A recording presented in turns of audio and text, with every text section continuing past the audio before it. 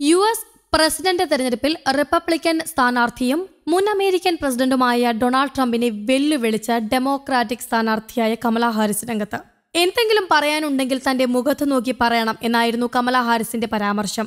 സെപ്റ്റംബറിൽ നടക്കുന്ന U S president സ്ഥാനാർത്ഥികളുടെ സംവാദത്തിൽ പങ്കെടുക്കുന്നതിൽ ഡൊണാൾഡ് ട്രംപ് ഇതുവരെ സമ്മതം അറിയിച്ചിട്ടില്ല. ഈ പശ്ചാത്തലത്തിലാണ് കമല ഹാരിസിന്റെ വെല്ലുവിളി. ഡൊണാൾഡ് ട്രംപ് നിങ്ങൾ എന്നോടൊപ്പം സംവാദത്തിന് വരൂ. എന്തെങ്കിലും പറയാനുണ്ടെങ്കിൽ എന്റെ മുഖത്ത് നോക്കി പറയൂ എന്നാണ് കമല ഹാരിസ് പറഞ്ഞത്.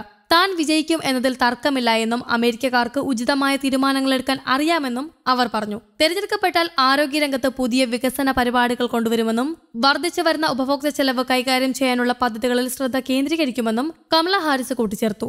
യു എസ് പ്രസിഡന്റ് തെരഞ്ഞെടുപ്പിൽ നിന്ന് പിന്മാറിയ പ്രസിഡന്റ് ജോ ബൈഡനാണ് തന്റെ പിൻഗാമിയായി കമല ഹാരിസിനെ പ്രഖ്യാപിച്ചത്. പ്രസിഡന്റ് തെരഞ്ഞെടുപ്പിൽ നിന്നും വിട്ടുനിൽക്കണമെന്ന ആവശ്യം പാർട്ടിക്കുള്ളിൽ തന്നെ ശക്തമായ സാഹചര്യത്തിലാണ് ബൈഡന്റെ പിൻവാങ്ങൽ. യു എസ് പ്രസിഡന്റ് തെരഞ്ഞെടുപ്പ് നവംബർ അഞ്ചിനാണ് നടക്കുന്നത്. അതേസമയം യു എസ് പ്രസിഡന്റ് തെരഞ്ഞെടുപ്പിലെ ഡെമോക്രാറ്റിക് സ്ഥാനാർത്ഥി കമലാ ഹാരിസിനെതിരെ വംശീയ പരാമർശവുമായി റിപ്പബ്ലിക്കൻ സ്ഥാനാർത്ഥിയും മുൻ അമേരിക്കൻ പ്രസിഡന്റുമായ ഡൊണാൾഡ് ട്രംപ് രംഗത്തെത്തിയിരുന്നു. ശരിക്കും കമലാ ഹാരിസ് കറുത്ത വർഗക്കാരിയാണോ? അതോ രാഷ്ട്രീയ സൗകര്യാർത്ഥം ഉപയോഗിക്കുകയാണോ എന്നതായിരുന്നു ട്രംപ് ഒരു അഭിമുഖത്തിൽ ചോദിച്ചത്. അവർ എല്ലായ്പ്പോഴും ഇന്ത്യൻ പൈതൃകത്തിന്റെ ഭാഗമായിരുന്നു. ഇന്ത്യൻ പൈതൃകത്തെ പ്രോത്സാഹിപ്പിക്കുക മാത്രമാണ് എപ്പോഴും ചെയ്തിരുന്നത്. ഇപ്പോൾ അവർ കറുത്ത വർഗക്കാരി എന്നറിയപ്പെടാൻ ആഗ്രഹിക്കുന്നു. അവർ ഇന്ത്യക്കാരിയാണോ? അതോ കറുത്തതാണോ? യു എസിന്റെ ചരിത്രത്തിൽ തന്നെ ആദ്യ ഇന്ത്യൻ വൈസ് പ്രസിഡന്റായ കമലാ ഹാരിസിനെ കുറിച്ച് അദ്ദേഹം പറഞ്ഞത് ഇങ്ങനെയാണ്. പ്രകോപനപരമാകും വ്യക്തിപരമായും ആക്രമണങ്ങളാണ് ട്രംപ് കമലയ്ക്കെതിരെ നടത്തിയത്. ട്രംപിന്റെ അഭിപ്രായങ്ങളോട് വൈറ്റ് ഹൌസും പ്രതികരിച്ചു. അപമാനമെന്നാണ് വൈറ്റ് ഹൌസ് പ്രതികരിച്ചത്. ഒരാൾ ആരാണെന്നും അവർ എങ്ങനെ തിരിച്ചറിയുന്നുവെന്നും പറയാൻ ആർക്കും അവകാശമില്ല. White House press secretary Karine Jean പിയാറെയാണ് ഇപ്രകാരം പറഞ്ഞത്.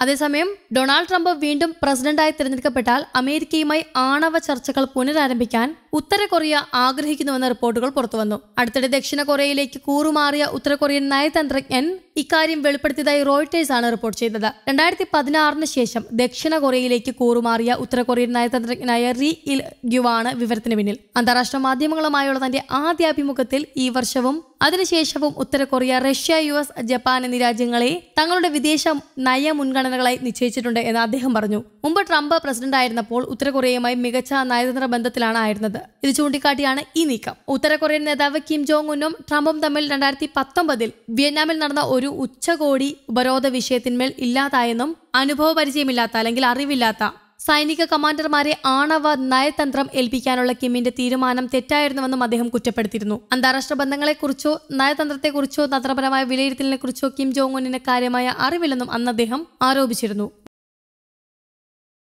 News desk Kerala Kaumudi.